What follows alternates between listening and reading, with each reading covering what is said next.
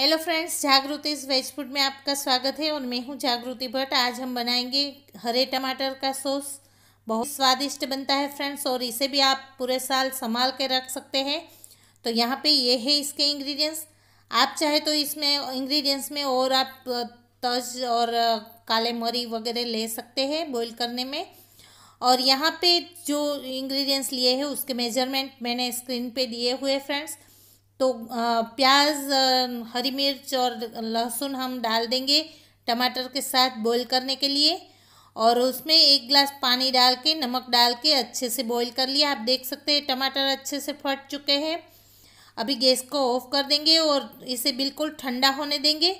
ठंडा होने के बाद हम इसे मिक्सर जार में डाल के अच्छे से क्रश कर लेंगे। तो देखो थोड़ा थोड़ा एक बार में जितना आए उतना क्रश कर लें। तो क्रश करने के बाद इसे अच्छे से हम छान लेंगे।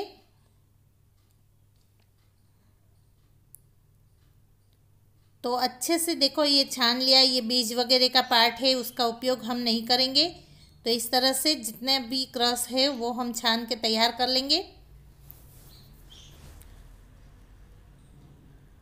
तो अभी ये अच्छे से छान लिया, अभी हम इसे उबालने रखेंगे। इसमें हमने एक्स्ट्रा पानी वगैरह कुछ लिया नहीं है। एक्स्ट्रा पानी डालेंगे तो इसे उबालना ज़्यादा पड़ेगा। तो मैंने इसमें एक्स्ट्रा पानी नहीं लिया है। तो देखो, एकदम ठीक दिख रहा है। तो अभी थोड़ा अच्छे से उबलना शुरू हो जाए। आप देख सकते हैं, इसमें बबल्स आना शुरू हो गए हैं।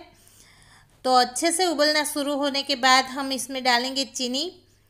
यहाँ पे इतनी क्वांटिटी में, यानी कि आधे किलो टमाटर वगैरह था और सारे इंग्रेडिएंट्स मिला के जो भी क्वांटिटी थी, उसमें मैंने डेढ़ सौ ग्राम चीनी अभी इसमें डाली है। टमाटर के खट्टेपन के हिसाब से आप चीनी डालें। पहले थोड़ी कम डालें, फिर चेक कर ले। अगर आपको चीनी कम लगे तो और चीनी आप डाल सकते हैं, फ्रेंड्स। तो क्वांटिटी आप अपने ज़रूरत के हिसाब से और टेस्ट के अकॉर्डिंग एडजस्ट करें चीनी की। तो देखो, ये चीनी हमने डाल दी। और नमक अभी हम नहीं डालेंगे क्योंकि हमने बॉईल करते वक्त नमक डाला था तो मेरा नमक बिल्कुल प्रॉपर इसमें था। अगर नमक कम लगे तो आप नमक भी अभी डाल दें थोड़ा। तो अच्छे से इसे एकदम अच्छा थिक हो जाए, तब तक हम इसे उबालेंगे। मीडियम हाई फ्लेम पे उबालेंगे ताकि ये नीचे से चिपक ना जाए तले पे। तले पे लगे ना फ्रेंड्स तो देखो ये थोड़ा थिक होने लगा है अच्छा थिक होने दे इसे।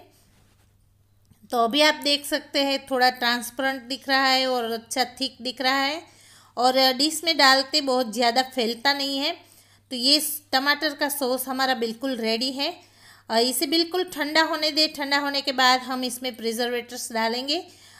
टमाटर का प्रिजर्वेटर्स टमाटर सॉस का प्रिजर्वेटर्स जो है, हम आसानी से मार्केट में मिल जाता है फ्रेंड्स वही डालना है हमें। और इसे पूरे साल इस तरह अच्छे से संभाल के रखा जाए तो ये पूरा साल चलेगा। बहुत ही टेस्टी बनता है तो फ्रेंड्स बनाइए और अपने अनुभव हमारे साथ जागरूक इस वेज फ़ूड पर शेयर करें। बताएँ कैसी लगी आपको रेसिपी। रेसिपी पसंद आए तो प्लीज़ लाइक, शेयर और सब्सक्राइब करना ना भूलें। मिलते हैं अगले वीडियो में नई रेसिपी के साथ। Thank you.